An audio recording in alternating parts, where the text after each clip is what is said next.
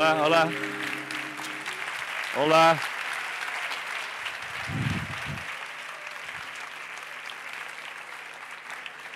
Buenas tardes. Hola, hola, hola. Buenas tardes. Bueno, como siempre decimos, gracias por estar aquí. ¿eh? Bien, ¿qué os puedo prometer? Hoy os puedo prometer sangre, sudor y lágrimas. También puede haber vómitos y diarreas, pero eso no lo sé. Va a ser una conferencia, es ya una conferencia dura. Es una conferencia que eh, tiene, su continuidad. O sea, em, si habéis seguido mis, videos o mis vídeos, tienen un, un hilo conductor. La finalidad es despertar. Despertar pero no despertar en un sentido eh, muy, muy espiritual, algo como que es muy difícil de conseguir, hay, algo que tenemos que hacer, que hay que hacer grandes cosas, grandes peregrinaciones, no sé, eh, no dormir o dormir mucho. Eh, no, es muy simple, es mucho más simple. Es tan simple como tomar conciencia de que estamos en modo robotito.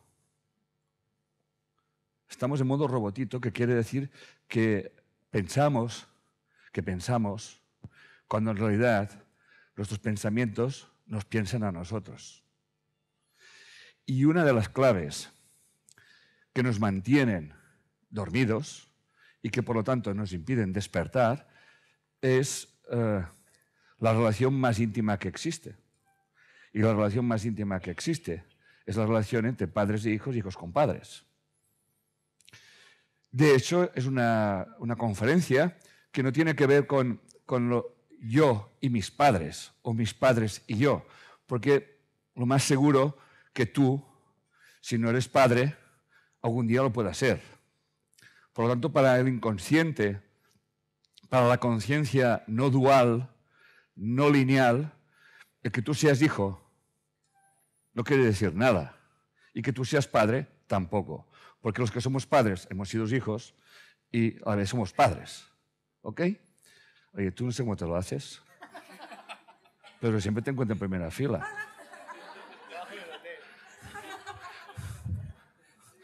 Este tío me persigue. Siempre lo tengo delante. Voy a enseñar contigo, tío. Donde vaya me lo encuentro delante. bueno, a lo que íbamos. Eh, entonces, claro, eh, el, concepto eh, yo y mis padres, o mis padres y yo, es algo que, que hay que desmitificar. Hay que desmitificar y corriendo. Porque todo lo que hemos generado entre la relación padres-hijos es falso. Es falso. Para poneros un ejemplo de lo que quiero decir, es, si usted es budista, piensa como un budista. Si usted es musulmán, piensa como un musulmán. Si usted es católico, piensa como católico. Pero eso solamente quiere decir una cosa, que están dormidos. O sea, sus creencias piensan por usted, le condicionan su vida.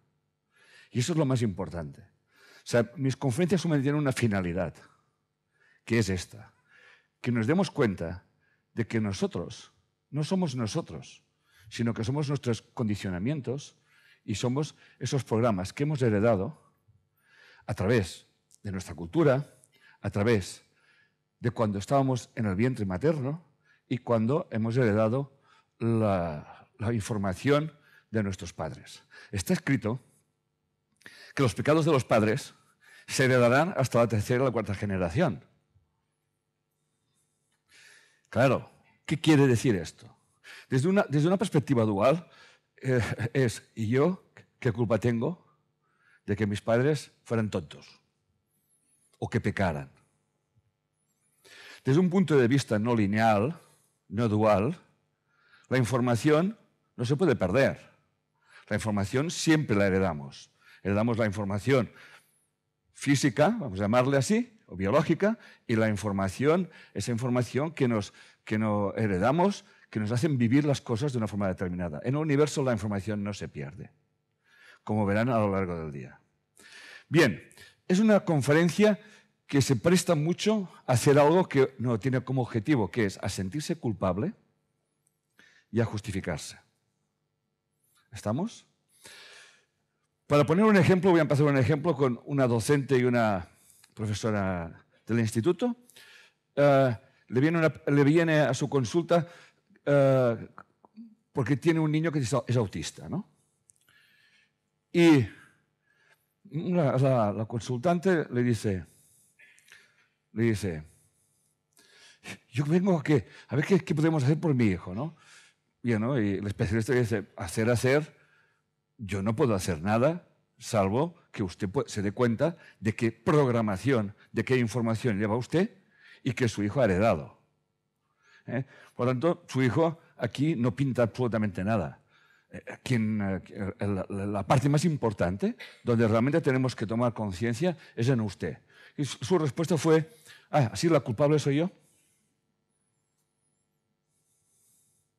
¿Estamos? No. Culpable no hay nadie culpable.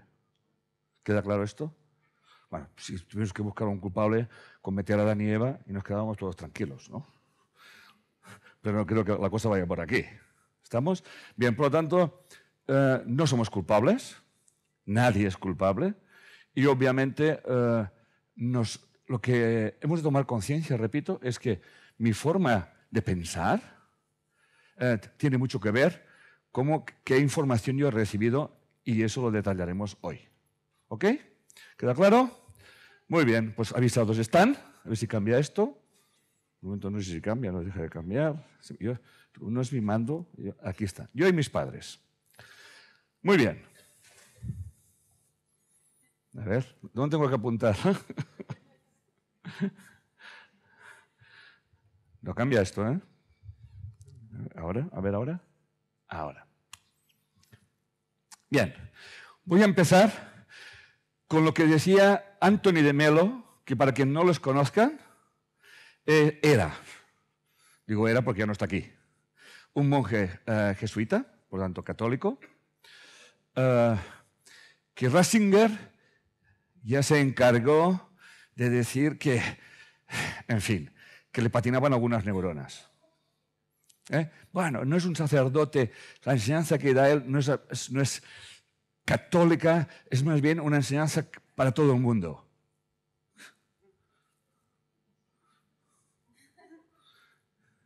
Por lo tanto, es como que no lo podemos encuadrar como católico. A esto me refiero yo. Fíjense bien. Eh, hay un estudio que lo encabeza Ratzinger, que fue papa, y, dice que, las enseñanzas de Anthony de Melo pues realmente son muy importantes, ¿no? Pero como que no son católicas. Perdón la expresión, coño, esto es lo que quería. Eso es lo que precisamente que quería, que fuera, y se sirve para todo el mundo. claro. Por lo tanto, él es un sacerdote jesuita, educado en el catolicismo, pero sus enseñanzas están un poco fuera de lugar, donde él nace en 1931 en Bombay y, muere en el año 1987, creo que de un ataque al corazón. ¿Eh? Por lo tanto, lo que dice ese señor es, es, un vanguardista de lo que realmente hoy en día, vamos a llamar, está tan actual. ¿eh? que hablaba, de la programación, de la desprogramación.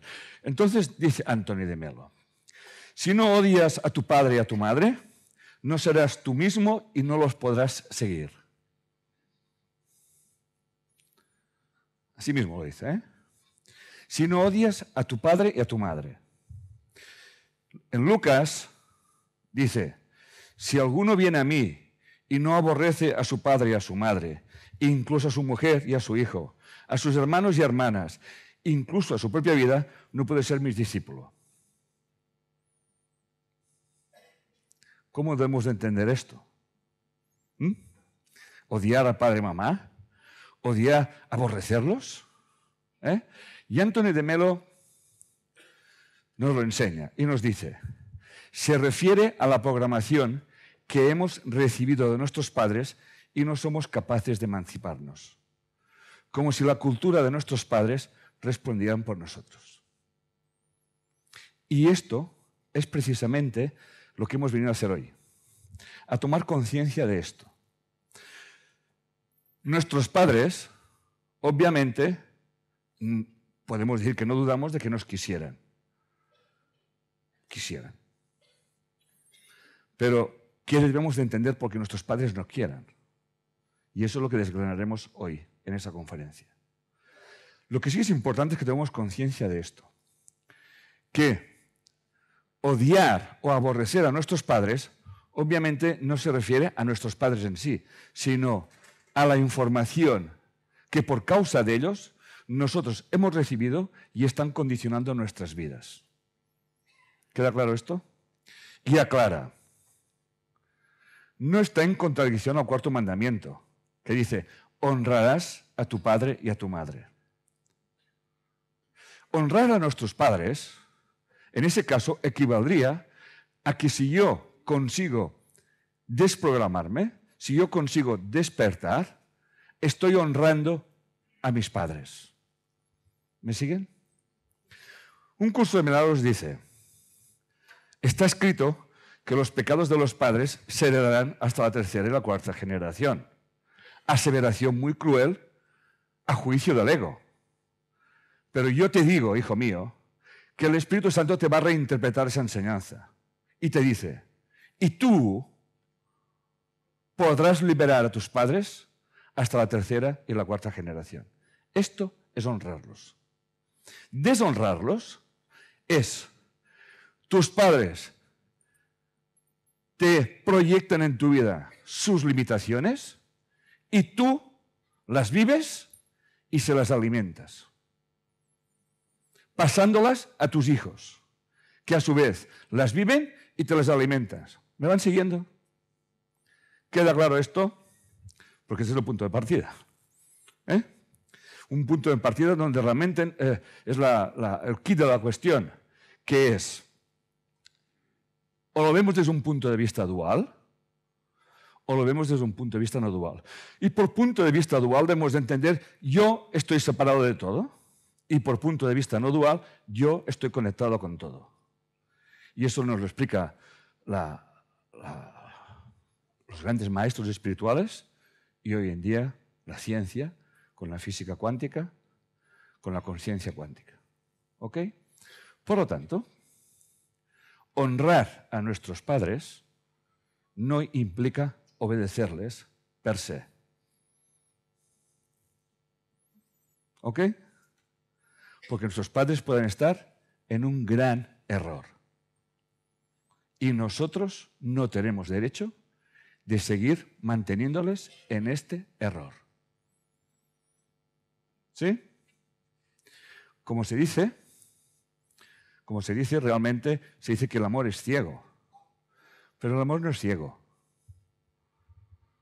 Lo que es ciego es la programación que llevamos, lo que llamamos el querer.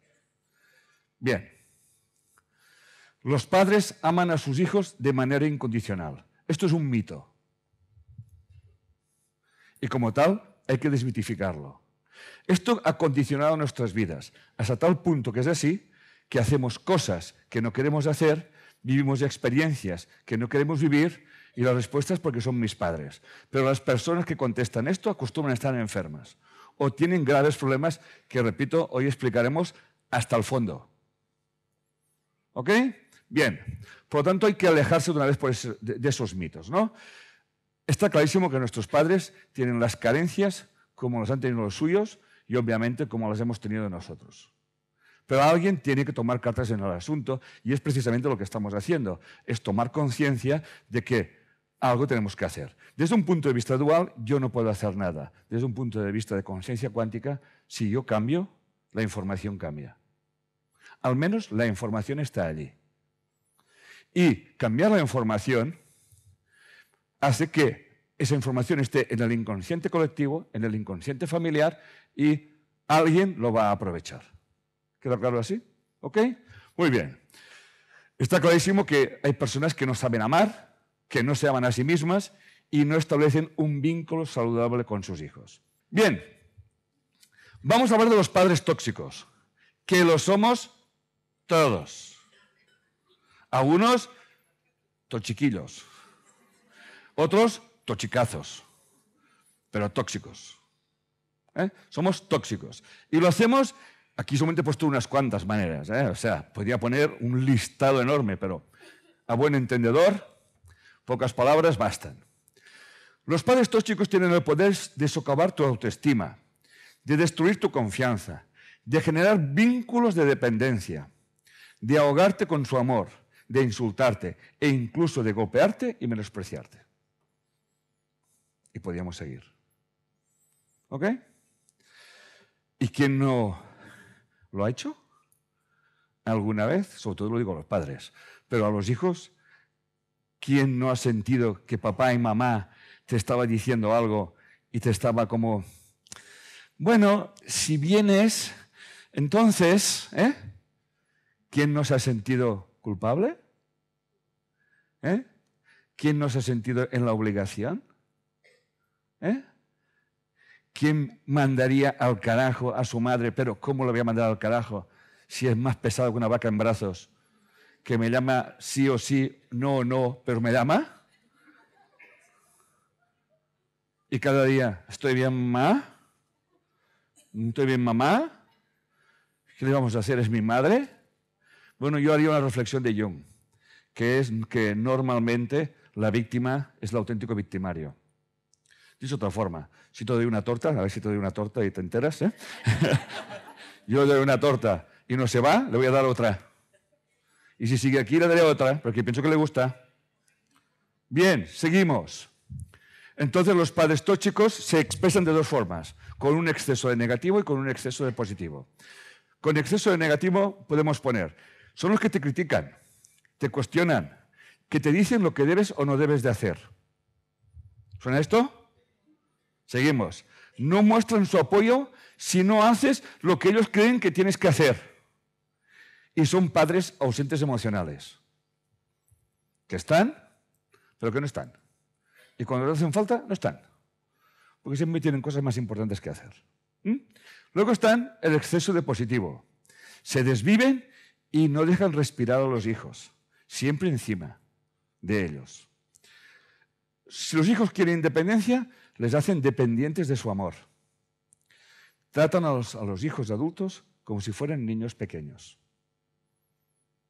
¿Ok?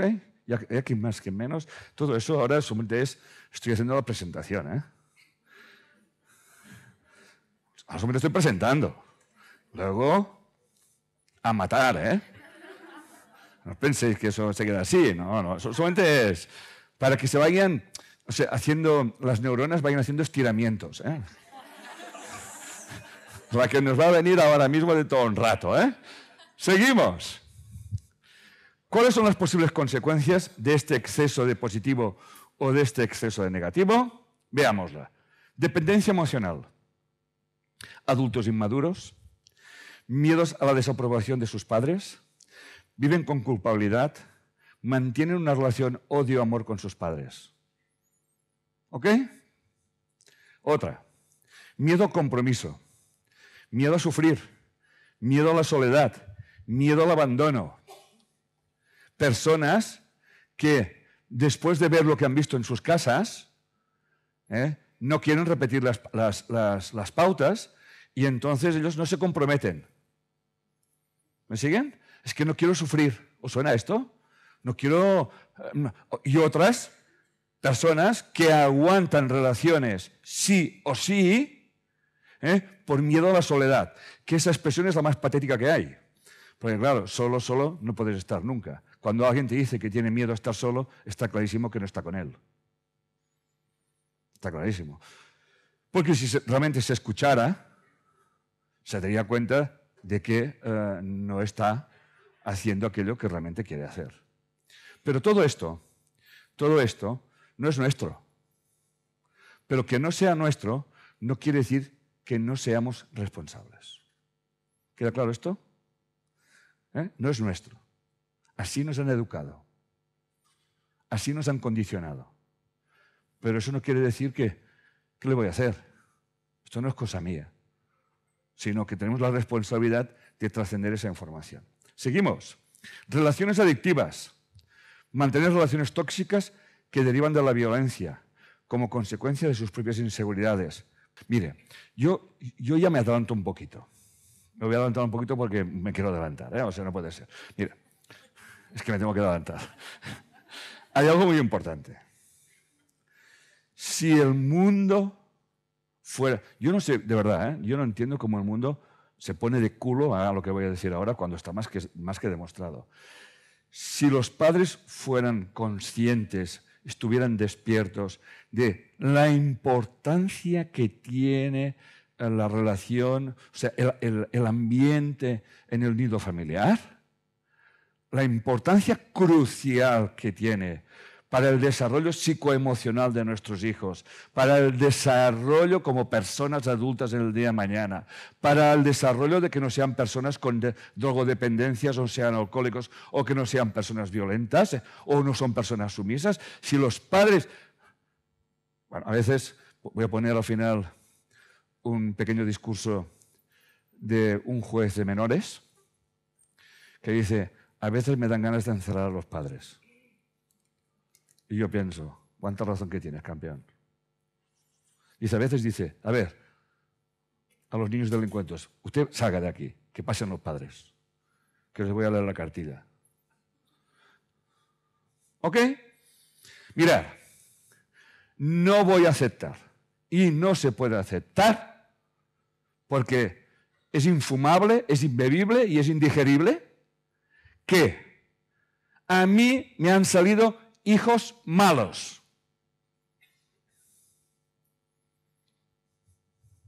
No computable.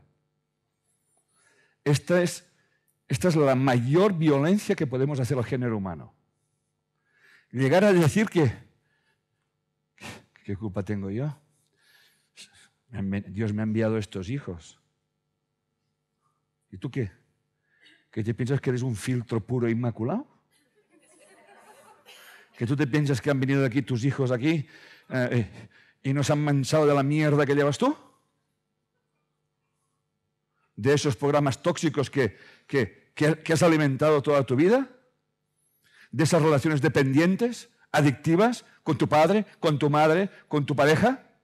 ¿Qué piensas que estos hijos vienen aquí? Ah, ¿y qué te, qué te piensas que tus hijos, como dicen a las madres, dicen, hombre, te hemos querido mucho? Digo, sí, pero me deseaste.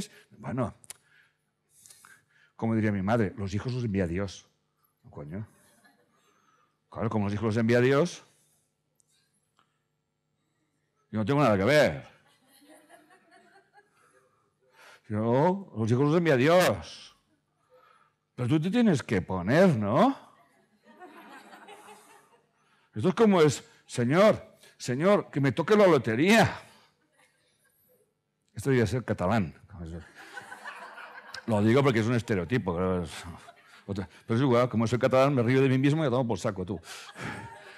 Entonces, claro, el tío rezándole un mes y dos meses, Señor, la lotería, que, yo creo en ti, que yo tengo mucha fe contigo. Y al final Dios en un sueño dice, oye, tío, ¿quieres comprar, ¿quieres comprar un boleto? ¿Te, quieres comprar un, billete? ¿Eh? Pues esto es lo mismo, ¿no? Me los ha enviado Dios. ¿Eh? Este solamente es el preámbulo de una conferencia que voy a hacer en México, que va a ser revolucionaria total. ¿eh? Se llama El poder de las madres. ¿Eh? Estoy haciendo un preámbulo, ¿eh? El poder de las madres. Adelantándome un poquito, si ese mundo tiene que cambiar, tiene que empezar por las, por las madres. ¿Sabéis por qué? Porque todos salimos por el mismo agujero. Sí. Y estamos nueve meses dentro de esa mujer. ¿Y qué se piensan? ¿Que si mi madre está contenta, mi hijo no va a estarlo? ¿Y si mi, madre sufre, mi hijo no va a sufrir? ¿Eh? Y si mi hijo no es deseado y lo deseo abortar, este hijo no le va a pasar absolutamente nada. ¿Tan dormidos estamos? ¿Me van entendiendo, verdad que sí? Ser madre, pero sí, pero sí es lo más grande que existe.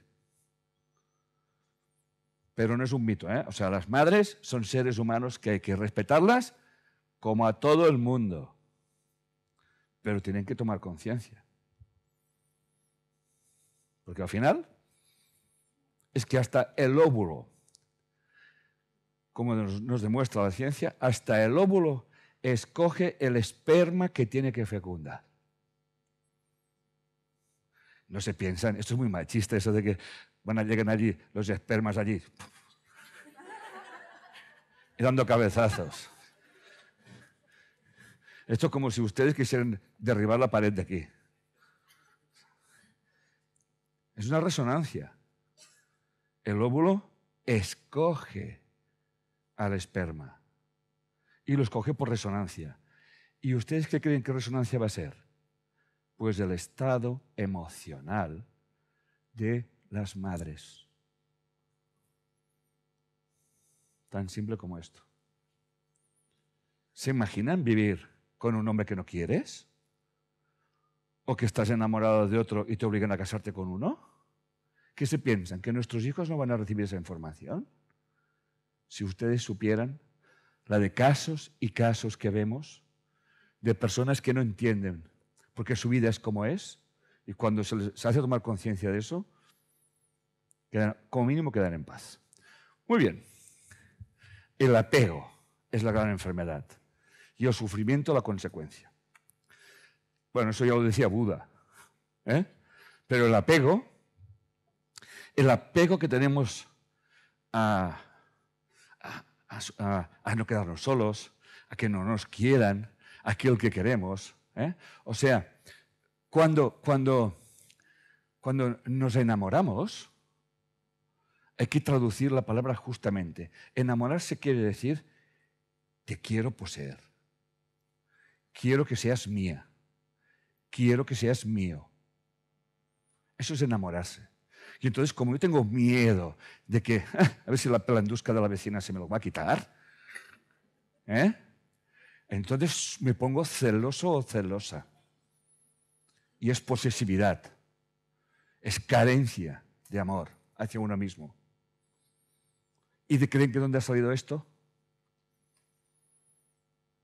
El sufrimiento es una opción es la creencia de que yo puedo carecer de algo. Y aquí empieza todo.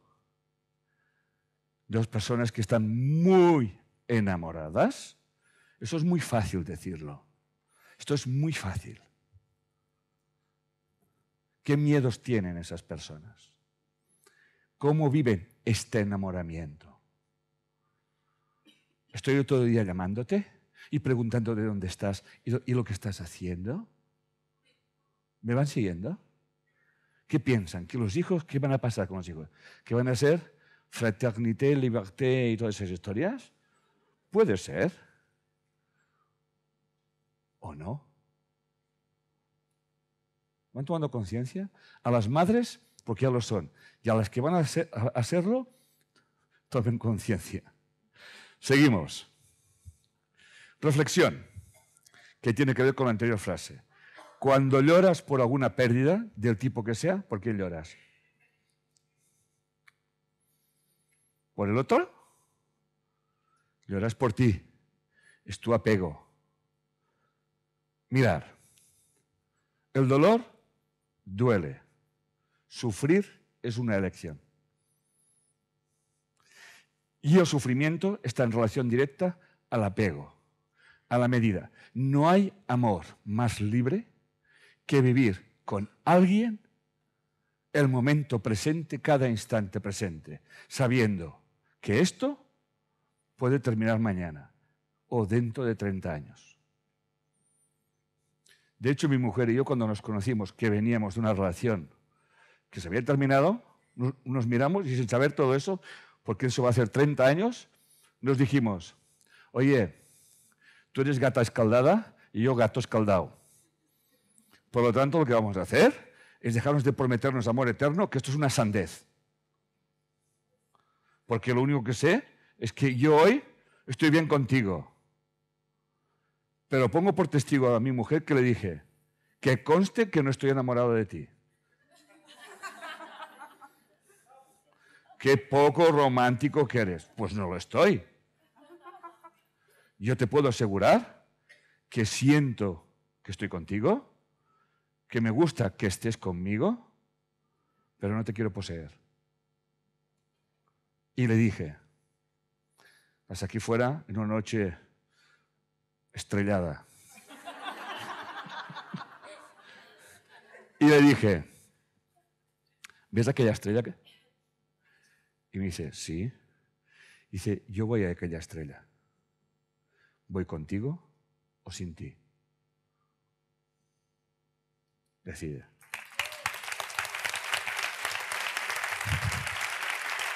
Esto es amar. Amar es no querer poseer. Amar es no proyectar nada en el otro.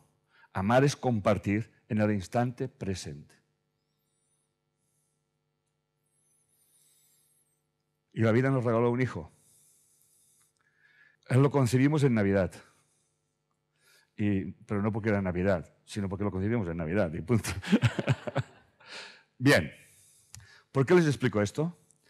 Porque realmente el auténtico amor no ata a nadie. Yo cuando eh, escucho a, amigos, amigas o colaboradores, alumnas que me dicen, es que em, yo he tenido que pedir permiso a mi marido para venir aquí. Em, ¿Mandé? ¿Qué edad tiene usted? ¿Que es menor de edad? Digo, porque si es menor de edad está muy viejita. ¿Eh? La vida la ha tratado mal. ¿Eh? Entonces, cuando me dicen esto, eh, me, quedo asombradísimo, ¿no? Pero claro, yo, ellas se quedan como turbadas, ¿no? Mm. Digo, no, así te, así te han jodido la vida, cariño. Haciéndote creer. Solamente estoy adelantando la conferencia de México, ¿eh? Porque voy a ir a saco. ¿eh? Vivimos en un mundo asquerosamente, y perdón la palabra, machista. ¿eh? Es increíble. Es que no hay tío que se escape del machismo. ¿eh? Yo me he dado cuenta lo machista que era observándome y diciendo, de tío, como estábamos de machistas, como nos han metido hasta en la médula tal, ¿no? Bueno, ahí está. Luego pasan cosas como lo que pasan. ¿eh? ¿Va quedando claro, familia? ¿Sí? Pues seguimos. Vamos allá. ¿Cómo vivimos esta ausencia? Desde el victimismo. ¿Eh? Sufro porque no estás conmigo. No haces lo que quiero tengo que hacerlo, son mis padres. ¿Os suena todo esto? ¿Eh? O sea, una mujer, y pongo una mujer porque he visto muchos ejemplos de estos, se entera de que su marido se engaña y se pone a llorar. Digo, ¿y por qué lloras? Y si es que mi marido me ha engañado con otra. Digo, si tendrías que estar contenta. Dice, es que tú siempre te lo miras muy positivo. Digo, bueno, tú te lo puedes mirar desde el victimismo, desde la pobre de mí, que te aconsejo que no lo hagas, porque cariño, es fantástico, tío, ¿te has enterado que ese tío no te es leal? Pues que se vaya. Es que me he quedado muy sola. Digo, no. Dice el refrán que más vale estar solo que mal acompañado. Por lo tanto, alégrate porque vas a conocer a otro hombre. Pero te voy a decir una cosa. Así como sueltes a este, así será el otro que va a venir, ¿eh? No te lo pienses tú que va a ser diferente. ¿eh? ¿Me van siguiendo? ¿Eh que sí? Y desde la libertad, el auténtico amor, como les explicaba, no es apego. O sea, tú estás con una persona, tú compartes una vida con persona. Eh, un, día había una señorita que me decía, eh, yo, no, yo me quiero divorciar de mi marido. Le digo, pues te divorcias. dice, pero es que no me ha hecho nada.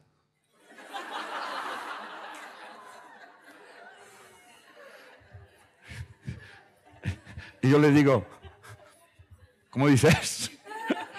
No, es que tengo un marido que me cuida, me mima, me lleva aquí y me lleva allá, pero no, lo quiero. Digo, pues no, pues no me lo putees más, le dije yo. No me le hagas perder el tiempo. Seguro que encuentra otra que estaría contentísima. Pero yo estaba muy preocupada. es que yo me quiero divorciar, pero es que no me ha hecho nada. Digo, si no te tiene que hacer nada. Fíjense bien cómo, cómo hablamos. Si me engaña, me enfado. ¿Eh? Si no me engaña, pero no lo quiero, no sé qué hacer. Pues le vas, por respeto y por amor, dices, oye, campeón, gracias por todo lo que me has dado.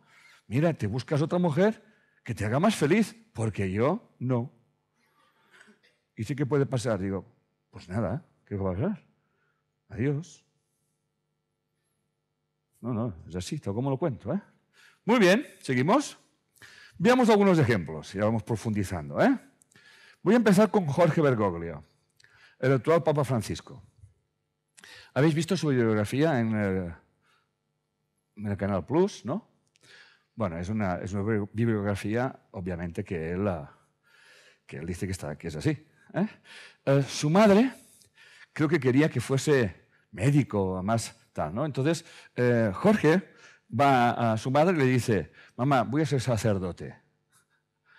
Ándele lo que le dijo. La madre le salía fuego por los dientes. Bueno, Jorge ama y respeta a su madre y honra a su madre. ¿Me van siguiendo?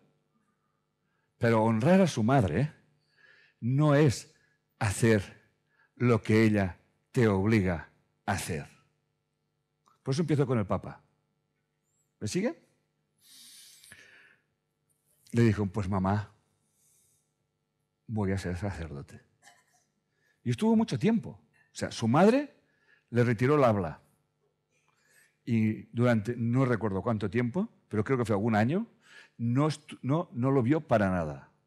Y él no iba a ver a su madre porque sabía que no lo quería ir vestido de sacerdote. Pasaron un tiempo hasta que un día, cuenta la historia, de que él estaba dando la comunión y estaba su madre allí. Esto es amor. Amor es aceptar la libertad del otro. No condicionarle que haga aquello que a mí me gustaría que hiciera. ¿Me seguimos? Porque uno de los grandes problemas con los cuales jodemos a nuestros hijos son con nuestras mierdas de proyecciones.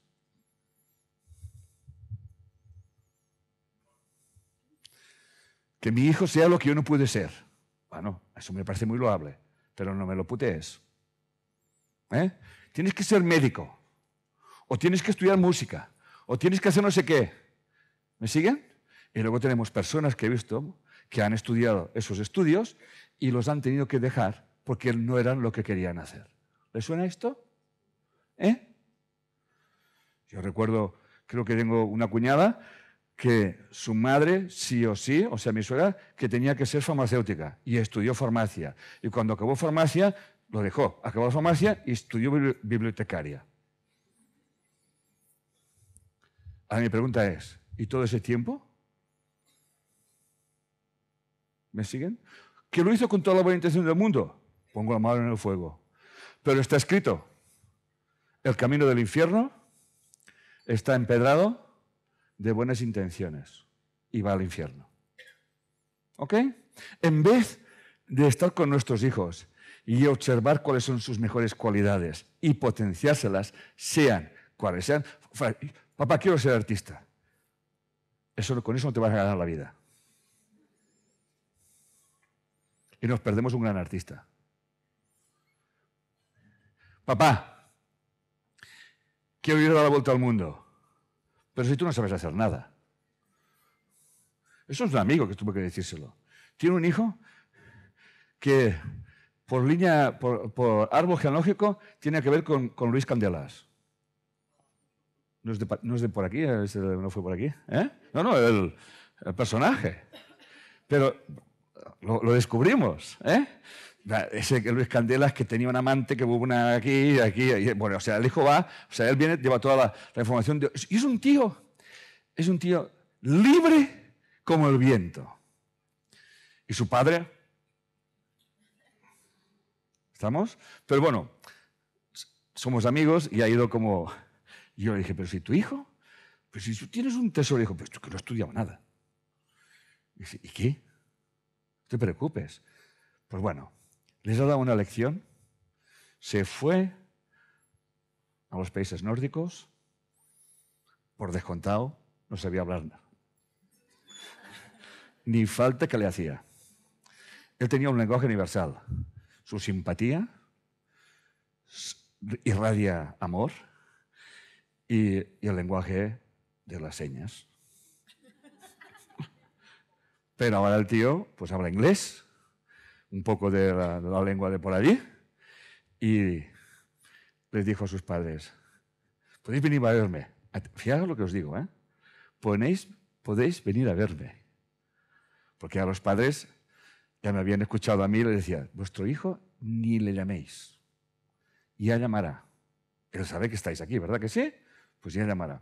Podéis venir a verme. Entonces dice, bueno, ya nos invitarás, ya que trabajamos de cocinero, ya nos invitarás tal cual. Dice, sí, hombre, ¿tú te crees que yo he venido aquí a ganar 1.500 euros para que luego te pague una cena que es muy cara aquí? Bueno, luego les preparó una fiesta, ¿no? Pero estaban orgullosísimos los padres, es a eso lo que quiero decir, ¿no? Los padres están orgullosísimos. ¿eh? Porque es, han visto que su hijo es, es libre como el viento, ¿no? Y que ellos lo hubiesen castrado. Eso es amor. ¿Entienden? ¿Eh? Mal entendido, ¿verdad que sí? Bien. Joven que quiere ser psicólogo y su madre que dice que tiene que ser médico. Él se va a matricular de médico. Y cuando está para matricularse de médico, dice, a toma por culo. Me matriculo de psicólogo. Y su madre estuvo seis meses sin hablarle. Pero un día su madre vio que él era feliz estudiando psicología y bueno, se le reblandeció el corazón. Muy bien. Me siento obligada a ir a casa de mi madre a celebrar su cumpleaños. Me siento obligada. Digo, ¿tu madre te pone una pistola en el pecho? Si es que me hace sentir culpable. ¿Tu madre te hace sentir culpable? ¿No serás tú que te sientes culpable? ¿Y juegas al juego de la culpabilidad? Yo te enseño. ¿Qué es lo que no te gusta de tu madre? Porque lo que no te gusta de tu madre lo tienes tú. Acuérdate que no estamos separados. Otro, tengo que llamar a mi madre cada noche. Si no lo hago, se enfada. Y claro, la mujer de ese caballero está encantada de la vida, no se lo pueden ni imaginar. ¿eh? Otro, hombre que tenía fobia a salir a la calle. Su madre nunca le dejó salir de pequeño, nunca. Lo quería tanto, tanto, tanto, que tenía miedo de que se, cayera en la calle y se hiciera daño. ¿eh? Tiene 50 años y aún duerme con su madre. Madre que cualquier problema que tiene con su pareja, lo primero que hace es llamar a la hija. ¿eh? Y luego eh, la hija proyecta esa historia a con quién? A su pareja. Eh, es aquello típico, a veces hay, hay mujeres que me dicen, yo no sé si me he casado con mi marido o con mi suegra. Y al revés. ¿eh? Dice, bueno, es que esto va con el paquete. Bien. Otro. Joven que se quería independizar. Le exigían el dinero que ganabas que se lo dieran a los padres. Y él decía, si me quiero independizar, yo soy el primero que digo que si estás en un, en un hogar, además lo dice el Código Penal, eh, el, artículo 155. No, lo sé porque lo, dice el juez. ¿Eh? Que cuando uno está dentro, em, dentro de, de, de un nido familiar, los hijos tienen sus deberes. Y como dice el señor juez, dice, antaño los hijos solamente teníamos deberes y pocos derechos. Y ahora los hijos tienen todos los derechos, pero no tienen ni idea de los deberes que tienen. Y así hemos creado monstruitos. ¿Ok? Bueno, un deber que tiene el hijo es de que si vive en un nido familiar, tiene que colaborar con la familia para tirar para adelante. Pero en ese caso no es así. Ese chico se quería independizar. Y su madre no quería. Me lo tenía atadito. Y entonces le hacía las mil y una para que se sintiera culpable, ¿no? Hasta que al final dijo, yo, mamá le dijo, yo me ahorro para ser independiente.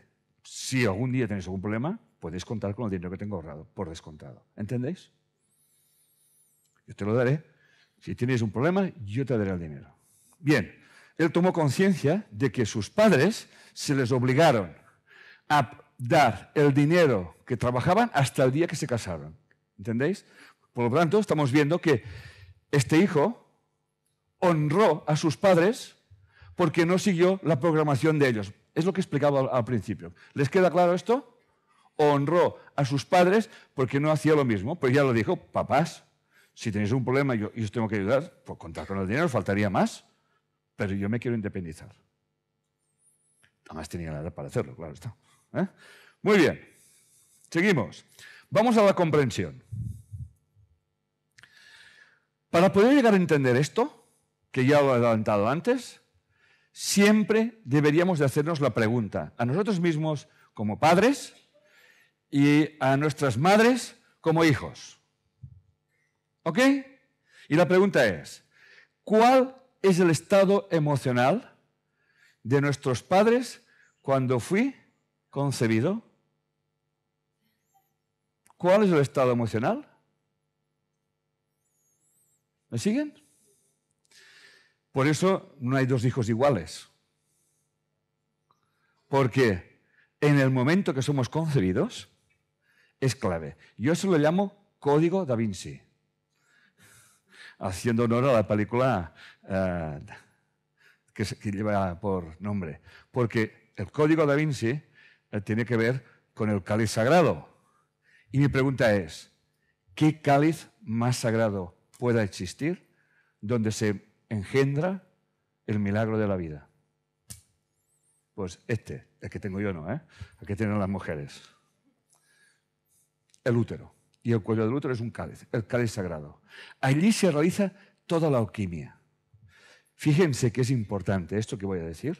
Fíjense que es importante que el estado emocional en que engendremos nuestros hijos puede trascender toda la información, por muy tóxica que haya, lleven de nuestros ancestros. Dos padres que son burros, burros, burros. Pero cuando hacen el amor y conciben un hijo, se aman y se respetan profundamente, sale un hijo que muchas veces decimos, ¿cómo puede haber salido este hijo de estos padres? ¿A qué saben lo que estoy diciendo? ¿A que sí? ¿Eh? Pues a esto me refiero. Eso me hizo pensar mucho a mí. Bueno, ya saben que soy muy observador. Y pensé, porque luego es al revés. ¿Cómo es posible que de esos padres salga un niño tan burro? ¿Dónde está la respuesta? en el código da Vinci. ¿Qué estado emocional fue, fui yo engendrado? Si les preguntáis a vuestras madres, ya os digo ahora, todas son mentirosas. Las madres, no las mujeres. ¿eh? Todas tienen que tapar. Estamos educados a esto, a tapar. O respuestas. ¿Qué quieres que hiciera yo, hija mía? Por lo tanto, fuiste concebida con dolor, con sufrimiento, con desamor. ¿Me van siguiendo? ¿Ok? Y puede haber la genética más extraordinaria de tus padres, pero la clave está aquí. En ese momento, vamos a llamarle mágico, en, en el milagro de la vida. Allí, como diría Nisa Carey, un ovo sin el esperma no son nada, y juntos crean un ser acostumbrados, nos parece que sea pim pam fuego. Pero está muy por esos estados emocionales. Esto por un lado. Y la otra es, ¿cuál es la relación de los padres con los suyos? ¿De tus padres con los suyos? Porque no nos olvidemos de la tercera y la cuarta generación. Por lo tanto, ¿cómo se relacionaba tu madre con la suya? ¿Cómo se relacionaba tu madre con tus padres porque esto se hereda. Es increíble hasta qué punto. O sea,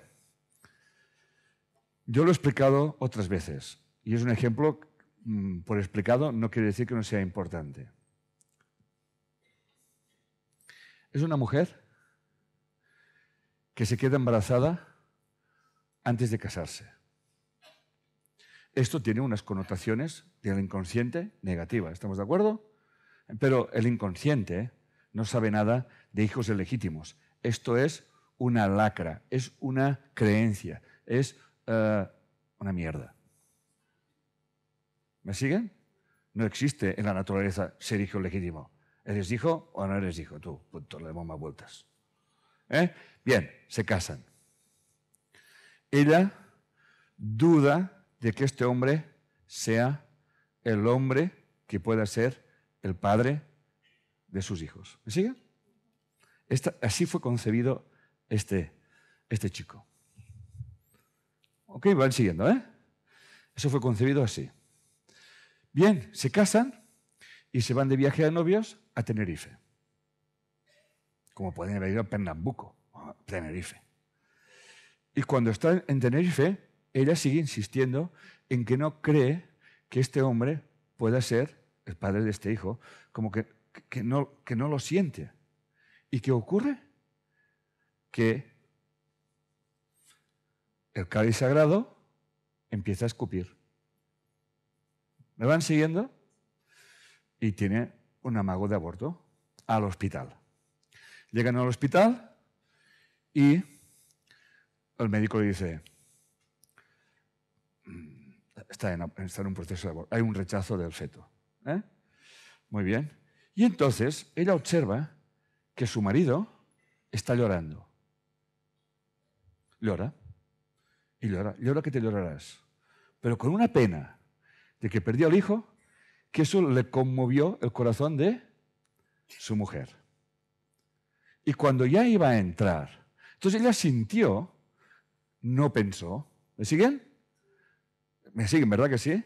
Ella sintió que, ostras, se quedó como un impacto, fue un impacto emocional ver que su marido estaba llorando lágrima vida porque iba a perder a su hijo. ¿eh? O sea, y eso le impactó tanto que cuando ya iba a entrar al, quirófano para el degrado, aparece un médico y me dice ella, pareció como un ángel. Y dice, ¿qué está pasando aquí? Y dicen, es que tal, a ver. Dice, todavía hay latidos aquí. Y el médico otro dice, pero si no latía el corazón, digo, escucha. Y late. Y nació un niño. Este niño, desde que es pequeño, un día le dijo a su madre, mamá, yo cuando sea mayor quiero ir a Tenerife.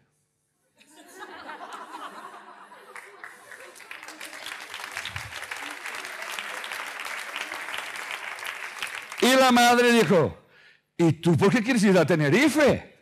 Un renacuajo así. Y dice, no sé, pero yo tengo que ir a Tenerife. Para este chico, Tenerife es vida. ¿Me siguen?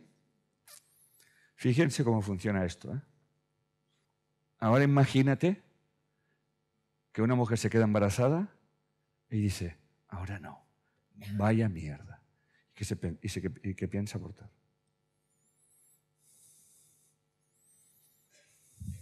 Hago pensar, ¿verdad? Pues eso, piensen, piensen. Muy bien. Vamos a ver peculiaridades. ¿Eh? Si el padre está ausente y la madre muy presente, probablemente ocurrirá esto. Eso es por, eso es por experiencia, ¿eh? o sea, eso está corroborado por nosotros. La hija buscará el camino de su madre, pudiendo establecer una relación de dependencia emocional o una relación odio-amor. Que sí, que no, que sí, que no. Y entre otras cosas, y lo sé por experiencia, ¿eh? por mis hermanas, anorexias y bulimias. Yo, toda esa gente que estudia esas enfermedades, que se pregunten esto. Pero es que además eso ya la ciencia lo dice, o sea, que, que se pregunte eso. Otra, el hijo puede estar muy pendiente de la madre, hasta tal punto que la madre sobreproteja al hijo y proyecte en el hijo el macho que no está. ¿Me siguen? Bien, seguimos. Ejemplo. Hijo único. Padre ausente y madre muy sobreprotectora. El hijo no hace nada sin que tenga consentimiento de su madre. Ah, ese señor tiene cuarenta y pico de años, ¿eh? ¿eh? Bien. Él se divorcia Y está dos años alternando un fin de semana con su madre y un fin de semana con su, con su amor. No dos semanas, ni dos meses, dos años. Quiero, quiero puntualizar una cosa.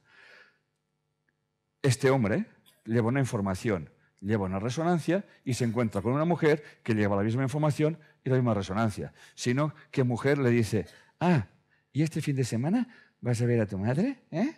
¿Así dos años? Un día le dice, mamá, ah, ni qué decir que el padre en la consulta no salía nunca. Es tan ausente que ni sale. O sea, que no está. ¿Eh? Ni sale. Digo, ¿no estará muerto? Dice, no sé, pero no está. no está nunca. ¿Eh? Bien. Un día, el hijo le pide a su madre, ¿puedo traer, en el fin de semana que le tocaba ir a casa a su madre, ¿puedo traer a mi pareja? Y le contestó, a tu fulana no la traigas aquí. Bien, vamos a ver. Obedecer a la madre, esto no es honrarla. ¿Estoy explicando? Esto no es honrarla. Si se honrase a él y honrase a su madre, diría, mira madre, ¿sabes qué te digo? Que te quiero mucho. Como la trucha al trucho. Pero tú te quedas aquí, que yo me voy con mi mujer. ¿Ok? Es tu problema. Y sobre todo, a la mujer que yo amo, no la llames fulana. ¿Qué madre respeta a su hija, a su hijo, que le llama a, la mujer que quiere puta? A ver, ¿dónde está escrito eso? Y el tío está tan idiotizado, tan robotizado, tan abducido, tan castrado, que siguió así y sigue así y la consulta es porque le salía un eczema. Y le pregunté, ¿cuándo te sale el eczema? Dice, cuando voy a ir a mi madre. Claro. ¿Qué le estoy diciendo? ¿Que no tengo que ir a ver a su madre? No. Le estoy diciendo que se respete. ¿Me entendéis? ¿Va quedando claro? Es un ejemplo de consulta. ¿eh? Seguimos. En la consulta. ¡Ay, mi hijo! ¿Usted qué tiene? Dice, ¡ay, yo tengo mi hijo y la hija! Y yo digo, ¿cómo? ¿Cómo lo ha dicho usted esto? Y dice, ¿usted tiene hijos? Y dice, yo tengo a mi hijo y la hija.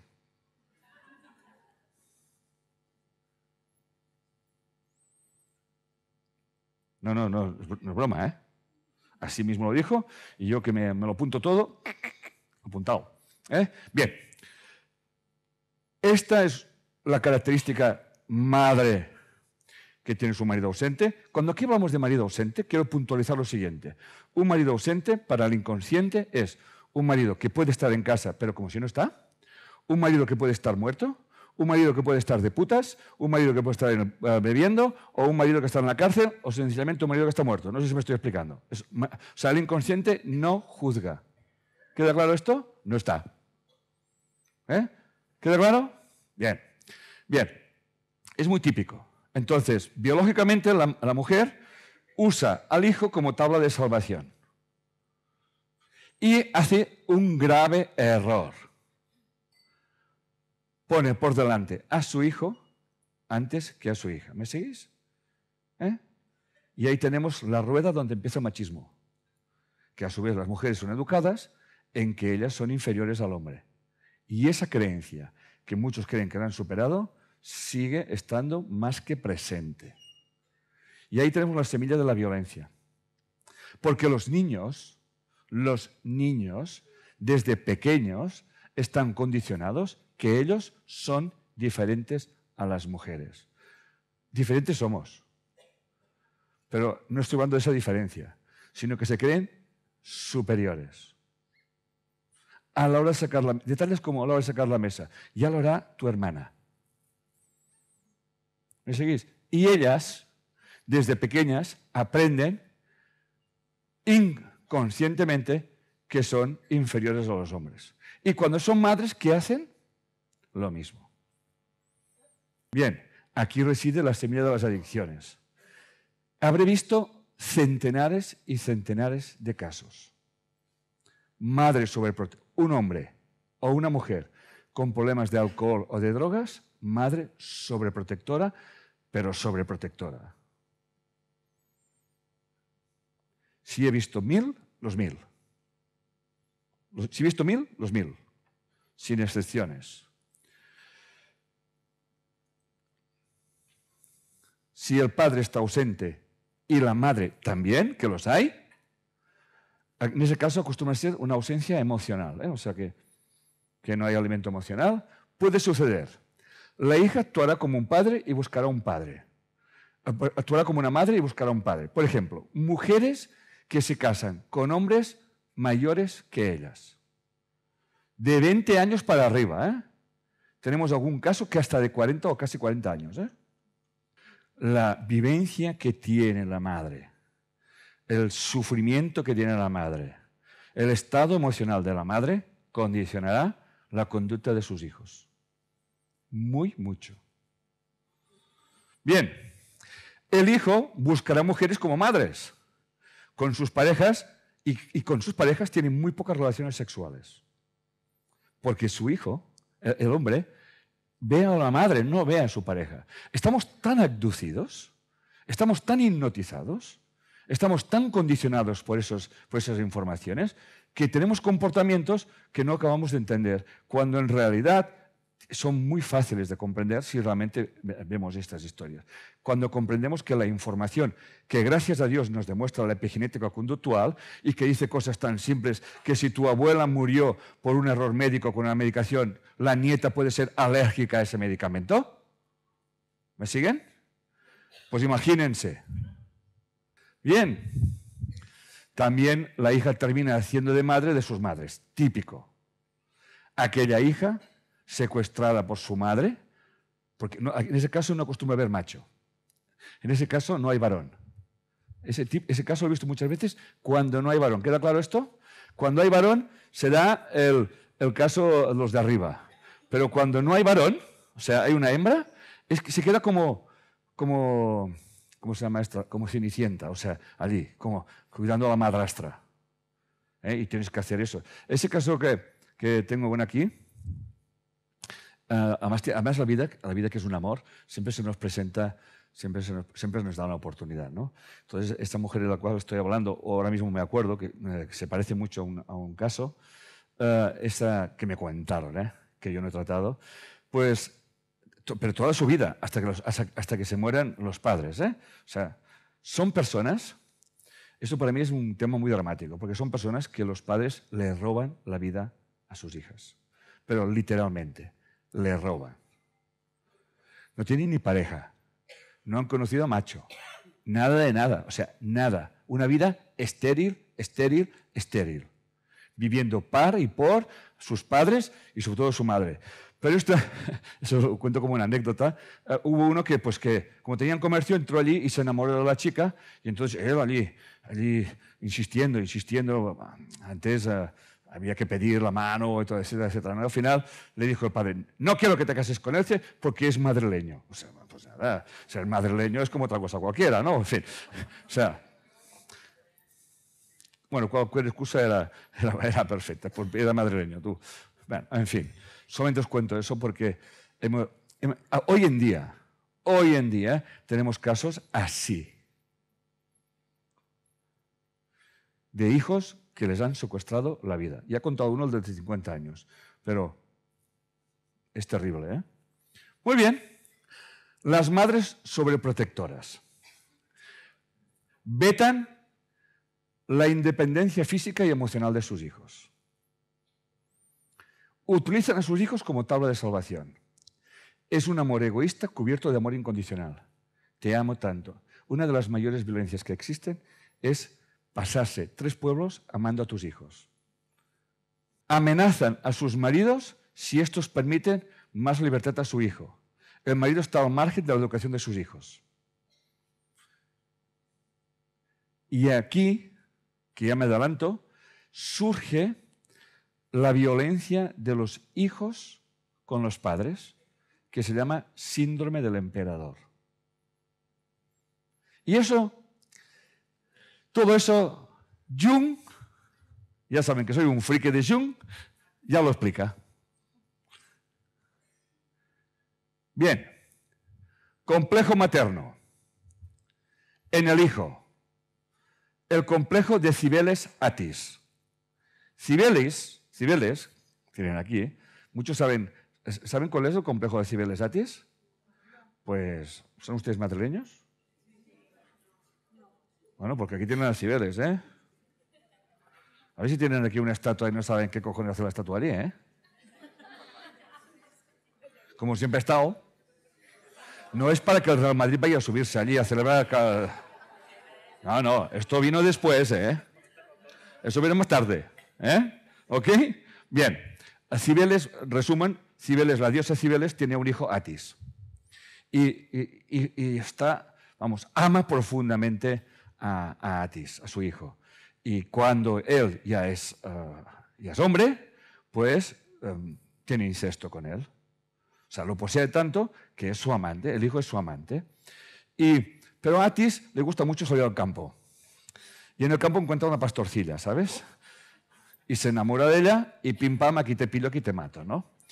Y claro, como Cibeles lo sabe todo, bueno, le riñe a, su hijo, bueno, Y el tío entonces, para no, para no perder nunca más la deslealtad a su madre, se corta los testículos.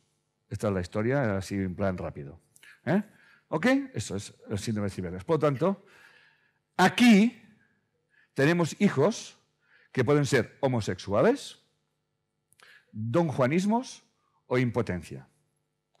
Eso no lo decimos nosotros. Eso lo pueden coger un libro, los arquetipos de Jung, y allí se lo encontrarán. ¿Ok? Pero curiosamente, nuestra experiencia lo corrobora, corrobora esto. Luego, en las hijas? El complejo materno en la hija. En la hija puede haber una hipertrofia del instinto materno y tenemos hijas que se pasan de madre y tienen al hombre y a los hijos como objetos. Vamos, como el gato y como los muebles. Solamente son madres revestidas de gran autosacrificio, pero que es tiene que ver con esto. Y, o la atrofia del instinto femenino, o sea, la otra polaridad, que también es la homosexualidad o lesbianas, o busca hombres casados para destruir los matrimonios. Son las típicas mujeres. ¿Qué? Os habéis quedado parados, ¿no? ¿Eh? Son las típicas mujeres que te vienen y te la consulta. Enrique, o a quien sea, dice, yo no sé qué me pasa. De tío de que me enamoro está casado. Yo digo, complejo materno. ¿Qué pasó cuando tu madre te concibió? ¿Dónde estaba tu padre? Mi padre, ¿qué padre? Si no estaba nunca mi padre. ¿Me seguís? ¿Eh? Muy bien. Complejo paterno. Pero hay que puntualizar. El complejo paterno se deriva porque nunca no olvidemos que este hijo estuvo en el vientre de su madre. ¿eh? Yo digo, nada, ese tío nos está súper responsabilizando a las madres. Oiga, ¿yo qué quiere que les diga?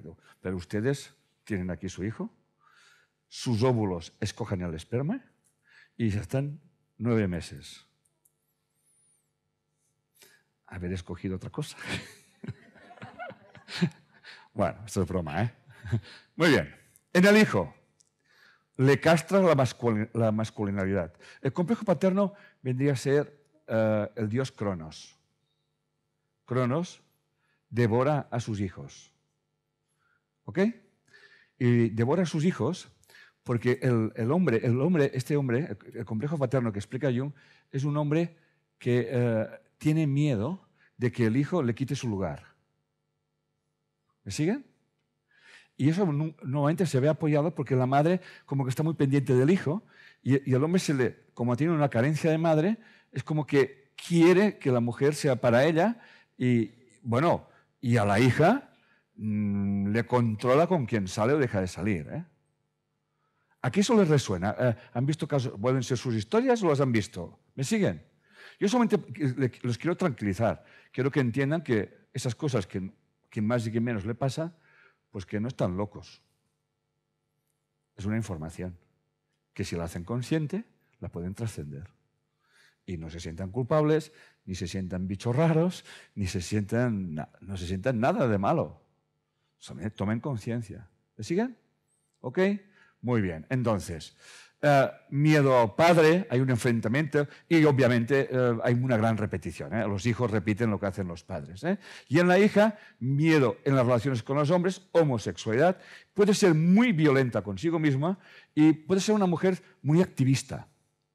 Lo cual no estoy diciendo que todas las mujeres activistas sean esto, que la gente aquí, todo el mundo hace las cosas como... La... Pero puede ser una mujer como que se pone mucho en peligro. Y sobre todo es, le gusta mucho enfrentarse a los hombres. Les gusta mucho esto. ¿Eh? Bien. El padre la parte de cualquier hombre y hay celos. El padre es muy celoso de los hombres que vienen a buscar a su hija. ¿Eh? ¿Ok? Que es el caso que explicaba antes. Al final, el padre le dijo a la hija, es que es madrileño. Como le podía haber dicho, es cojo, tú, yo qué sé. ¿Eh? Muy bien. Y aquí pongo un ejemplo. Madre que desautoriza a su marido cuando éste da permiso a su hijo de 18 años que, vaya a la playa con sus amigos de fin de semana. Y le dice, atención, biológicamente hablando, la madre es la protectora y el, hijo, y el padre es el que da permiso. ¿Estamos de acuerdo con eso? Es, así. ¿eh? Bueno, en algunas culturas no, pero aquí sí. ¿eh? Bien, fíjense bien, 18 años. ¿Qué ocurre con un que tiene 18 años? Obviamente las hormonas van para arriba, para abajo, para abajo, para arriba, van por todos los lados. ¿eh? Salen hasta por los poros las hormonas. ¿eh? ¿Que sí? Bien. Y quiere salir con sus amigos a la playa, un fin de semana. Y la madre, el padre dice que sí. Lo que es gravísimo es que la madre desautoriza al padre. Pero claro, hay un porqué. El porqué es porque este es un padre ausente, ¿me siguen? Pero no es ausente porque es ausente, sino que la madre nunca ha permitido que el padre esté presente. ¿Me están siguiendo? Es como que mi hijo, mi hijo, mi hijo. Y, y el padre trabaja, trae el mamut y llega tarde a casa. Y cuando llega a casa y tiene que decir cualquier cosa, la madre ya se encarga de, de matizar, de esconder, de no decir, etcétera, etcétera, etcétera. ¿Me van siguiendo, verdad que sí? No puedo Em, ampliarme en esto porque, no, porque no, es, no es el momento, solamente para que ustedes tomen conciencia. Bien, entonces le dice la mujer a su marido, si le das permiso, me voy de casa. Así, vamos. Él se queda jodido, el padre. Pero el hijo, cuando no está el padre, ataca a su madre, la insulta y la quiere pegar. Y la pregunta es, ¿es que el hijo es malo? ¿Me sigue? Porque, ahora explicaré el mito del héroe, porque cuando eh, tenemos las hormonas salen, 12, 13, 14 años, gracias a las hormonas, nosotros empezamos a desvincularnos de las ligaciones con los padres, eso es natural. Pero ahí se encargan las madres de castrar eso. Entonces, él ya no aguanta más. Luego, la opción siempre es la misma. O soy sumiso, ¿me siguen? O soy violento. Ante la frustración, siempre hay dos respuestas. O sumisión o violencia. ¿Queda claro esto? ¿Sí? Bien. Ah, aquí están. ¿eh? Entonces el hijo le grita a su madre, ¿eh? la amenaza. ¿Qué hace la madre? Que no cuenta nunca con el padre, que es la promotora de esa historia, va a su marido y le dice, mira qué ha hecho tu hijo. Ándele, como dirían los mexicanos, ¿eh? Ándele, ándele, ¿eh? Y entonces, este hombre, que por fin la madre le da la potestad, pero es una manipuladora de narices, le dice, tienes razón, pero si le faltas respeto a tu madre, no sales. Y la mujer, ¿qué es lo que pretendía? El hijo en casa. ¿Me he explicado bien? ¿Sí? Hacen unas caras. Bien, seguimos. Este es el que está llorando, es el que se entera más. Entonces, el síndrome del emperador es este. Ahora que la madre le pregunte qué ha pensado para que el hijo haga esto. ¿eh? El síndrome del emperador es el maltrato de los hijos a los padres. ¿Ok? ¿Familia? ¿Va quedando claro? Muy bien. Y ahora vamos a poner la ciencia. Nisa Carey, en su libro La revolución epigenética, bióloga molecular, dice lo siguiente. Epigenética y ADN basura, ambos afectan a enormes situaciones de vida y tienen un gran impacto en la salud humana. Las experiencias vividas por una madre en los tres primeros meses de gestación pueden afectar al hijo toda su vida. Por lo tanto, todo lo que nosotros hemos visto por experiencia, todo lo que hemos estudiado, resulta que sale esta doctora y nos dice, esto es así. También pensamos que esto no es, em, que no se puede cambiar. Pero si ha dicho esto, es porque tiene experiencias. Ella hizo unos estudios con una hambruna, con una hambruna que hubo en Holanda en, la Segunda Guerra Mundial.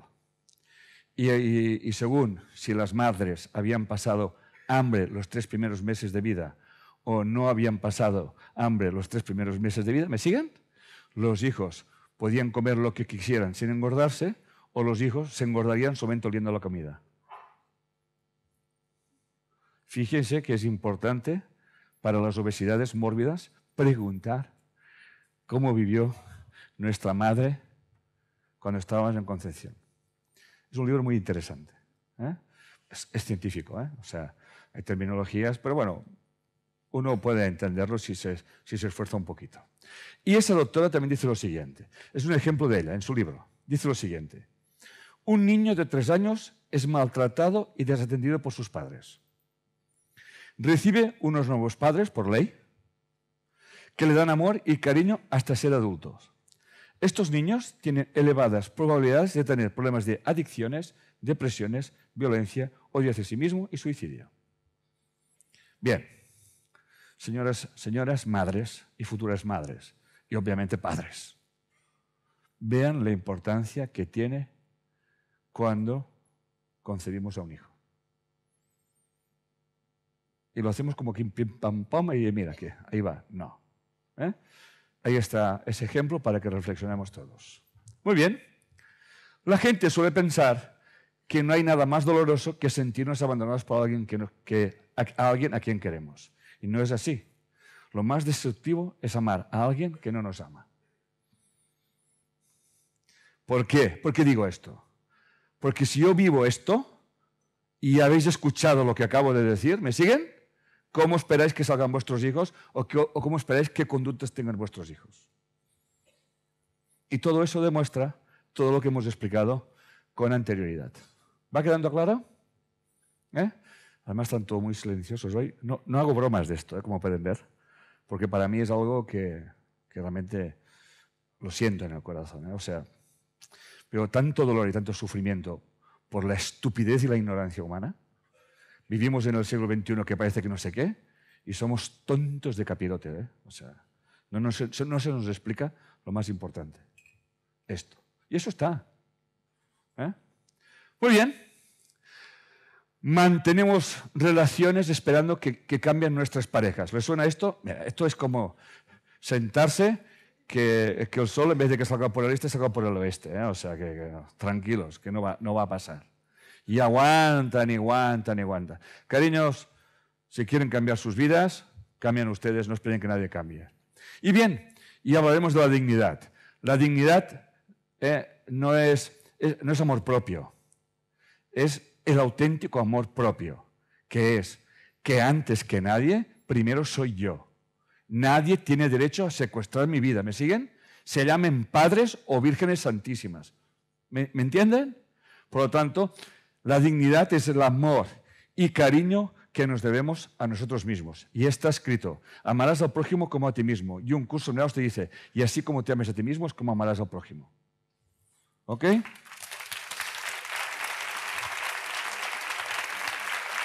Hay que aprender a decir, papá, mamá, gracias, os quiero. No y basta. ¿Eh? Muy bien. Un poquito más de ejemplos para que estéis todos bien contentitos. Bien. Mujer con distrofia muscular. Son de mi consulta, ¿eh?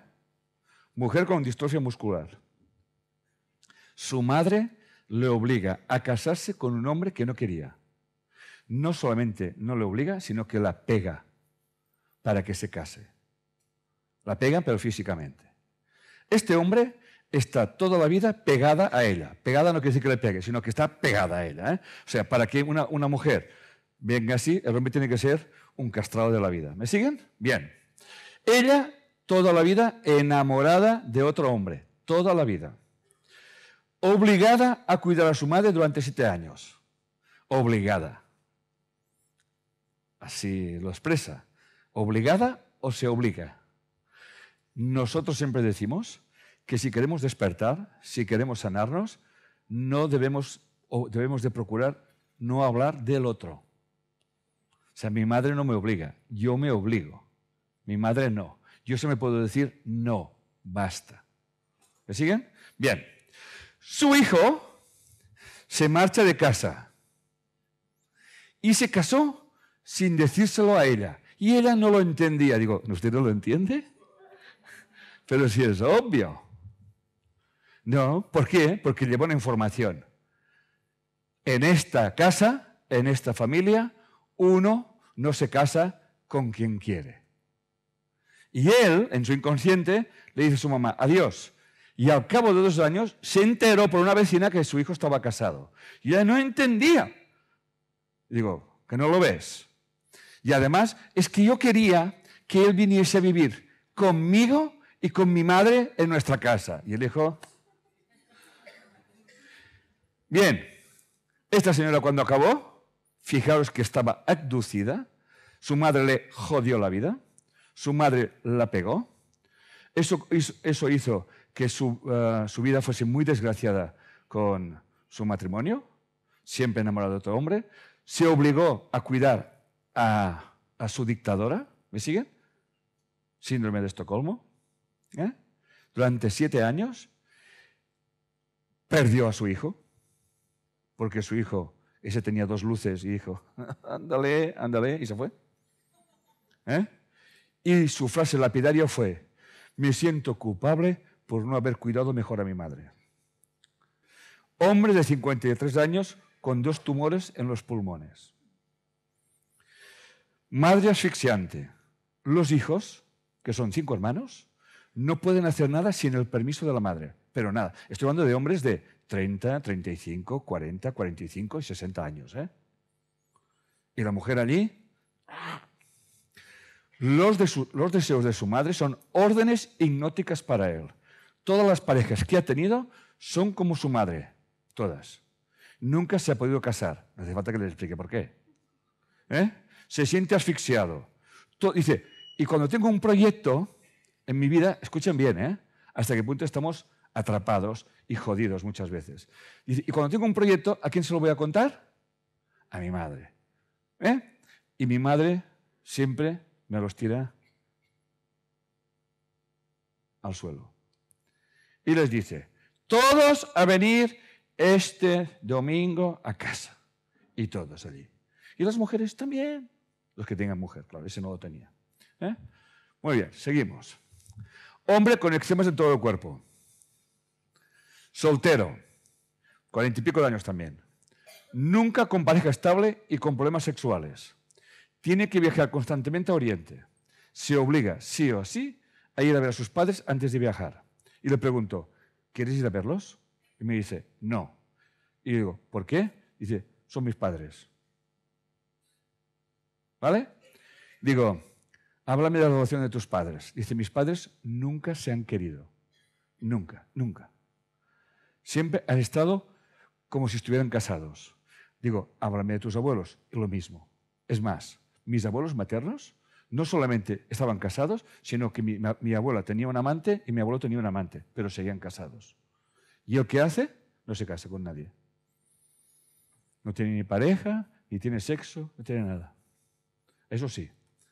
Y llega un momento que tanto va a cantar a la fuente que va a haber uno de esos que tiene que marcharse otra vez y le sale el eczema, que tiene que ver con un, problema de un conflicto de separación, etcétera, etcétera. Muy bien, seguimos. Ya estamos con el mito del héroe. Todo eso, para que vean que todo eso que estamos viviendo ya está muy estudiado, lo que pasa que la gente no lo sabe. Bien, el mito del héroe, del héroe representa la consolidación de la personalidad en el aspecto masculino, ¿eh? en el aspecto masculino, solamente en el aspecto masculino. ¿eh? Y eh, es las pruebas que tiene que pasar todo hijo, varón, que se tiene que hacer hombre. ¿Me siguen? Bien. Se tiene que transformar. O sea, tiene, es el futuro hombre que deja de ser hijo para pasar a ser adolescente y para ser independiente y crear su propio hogar. ¿De acuerdo? En el intento mueren más de la mitad. ¿Eh? Porque ya se encarga la bruja pirula, que es su santa madre. Bien. Eric Newman, amigo de Jung, es lo que desarrolla el mito del héroe. ¿Eh? Ya saben que Jung desarrolló, eh, bueno, Freud y Jung desarrollaron el, complejo de Letra y de Edipo, etcétera, etcétera, pero él trabaja esto. ¿eh? De hecho, hay un libro o un documental que se basa en la relación de Jung y Eric Newman, se llaman Las Doce Cartas. O sea, se cartean, antes no habían WhatsApp ni cosas de esas, se cartean y hablan sobre esas historias. Él dice que nace el héroe, nace el héroe, o que tiene que ser héroe, y tiene su primera, su primer, vamos, superación, su primera prueba es la adolescencia. Todo el mundo sabe que la adolescencia, nuestro niño ha cambiado, y qué pasa con el niño, esto es lo primero que tiene que superar el niño. El segundo eh, tiene que superar la castración de la madre. Se le llama superar el matriarcado. Cuando el héroe ya ha superado esas dos pruebas, lo cual ya es para ponerle una medalla, ¿eh? le queda la última, que es superar la prohibición del padre.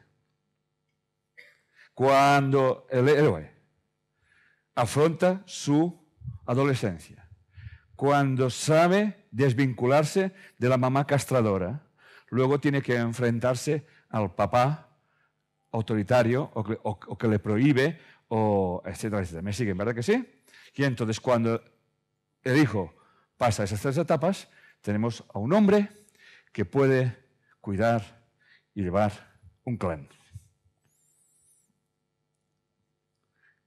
Atención papás, atención mamás. ¿Ok? Yo el día que mi hijo me pegó un meneo, dije, mira, Este acaba de matar a papá. El mito del héroe. Hay que ser conscientes de eso. Hay padres que no permiten y dicen cosas como, y no te olvides que yo soy tu padre y me debes de obedecer hasta que... ¿eh?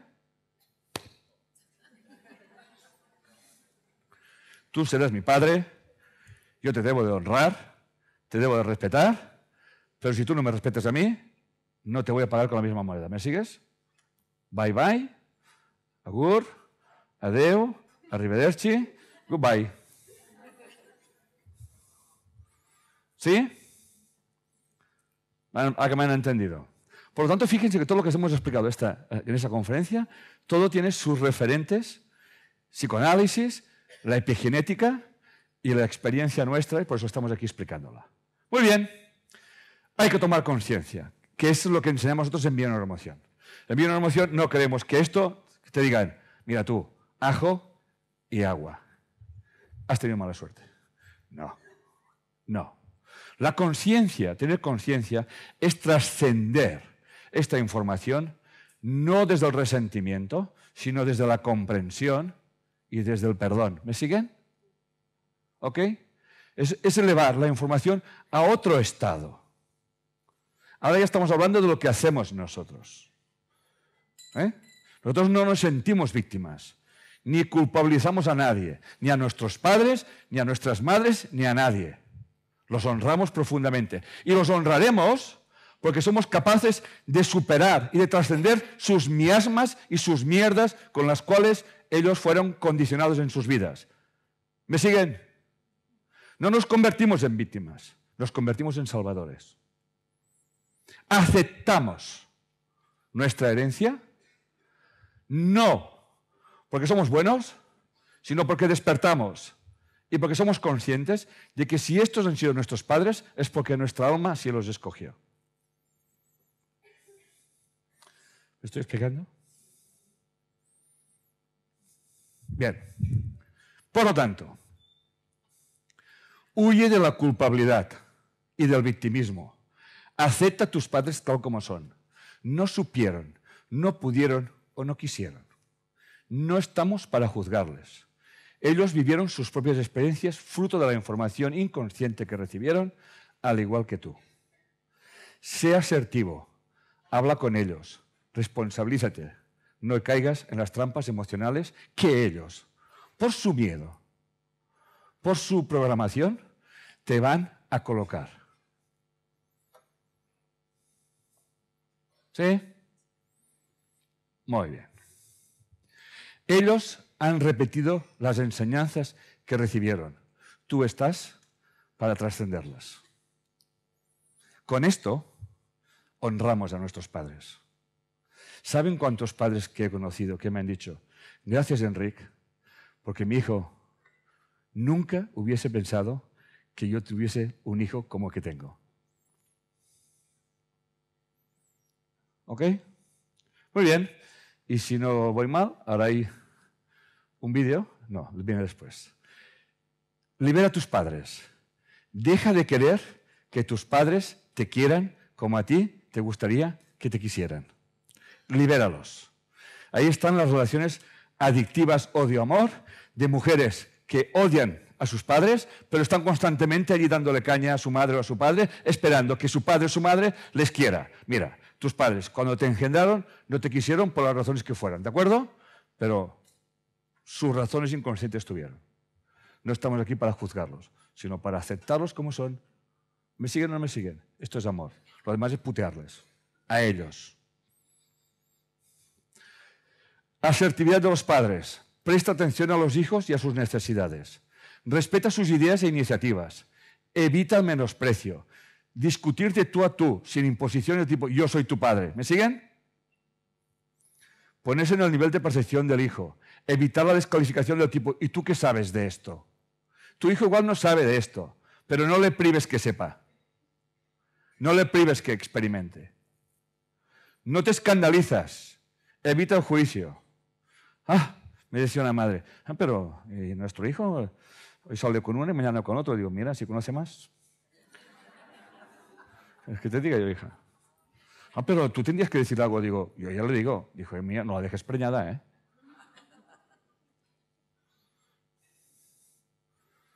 Estamos proyectando siempre tal y cual. Yo recuerdo de uno que se le rompió un dedo. Le digo, ¿y ese dedo cuándo te lo rompiste? Me dice, no, en la playa. Digo, ya. Digo, ¿con quién estabas en la playa? Dice, con, mis padres. Digo, ¿y quién más? Dice, y con, con mi nueva novia. ¿Qué pasa con la novia? Dice, ¿cuál es tu estrés? Dice, yo pensaba, a ver si mi, madre no la acepta. Y digo, ¿y en qué te pasas en eso? Dice, es que tenía otra y me dijo, con esta no. ¿Me siguen? Esto es una madre, ¿eh? Esto es una madre. Para que la encierren un rato, ¿eh? Por eso. Guardadita que se quede quieta. Y se rompió el, vídeo, digo, el dedo porque yo dije, tiene que ver con madre y con colateral. Tiene que ver con la madre y con colateral. Y dice, ya, ya. ¿Eh?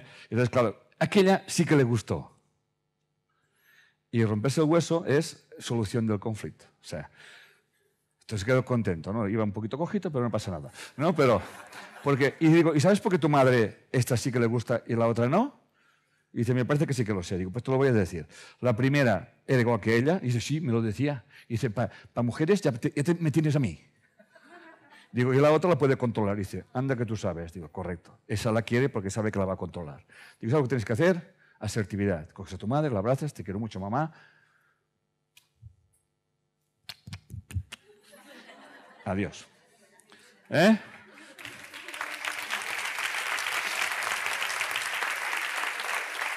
Hay que superar la castración. Y termino con esa frase. Perdona a tus padres. Perdónate a ti mismo. Todos somos hijos y algún día puedo que seamos padres. Y si no lo somos, perdonémonos también. Muchas gracias. Muchas gracias.